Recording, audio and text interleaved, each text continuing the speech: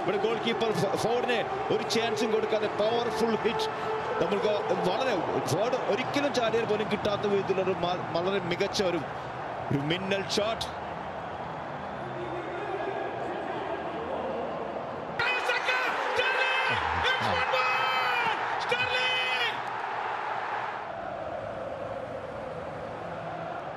ഡിഫൻസിനെ split ചെയ്തുകൊണ്ടുള്ള ഒരു പാസ്സാണ് അവിടെ സാക്കിക്ക് നൽകിയത്.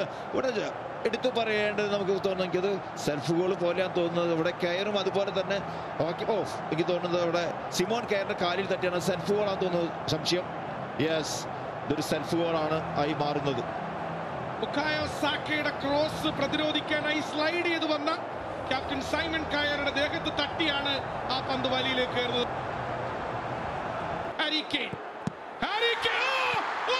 ആദ്യ ശ്രമത്തിൽ ആ പന്ത് കാസ്പർ രക്ഷപ്പെടുത്തുന്നു. പക്ഷേ ക്യാപ്റ്റൻ ഹാരി കെയിന്റെ രണ്ടാം ശ്രമം പിഴക്കുന്നില്ല.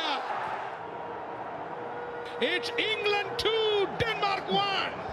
ഇവിടെയാണ് കാസ്പറിന്റെ കൈകളിൽ തട്ടിയ പന്ത് വീണ്ടും പുറത്തേക്ക് പോകുന്നതിന് പകരം പിടിക്കാനുള്ള ശ്രമമാണ് അത് കയ്യിൽ നിന്ന് നഷ്ടപ്പെട്ടു പോകുന്നത്. അതിൽ നിന്നും വീണ്ടും ആ പന്ത് ഗോളടി ഗോളാക്കി മാറ്റാൻ സാധിക്കുന്നു ഹാരി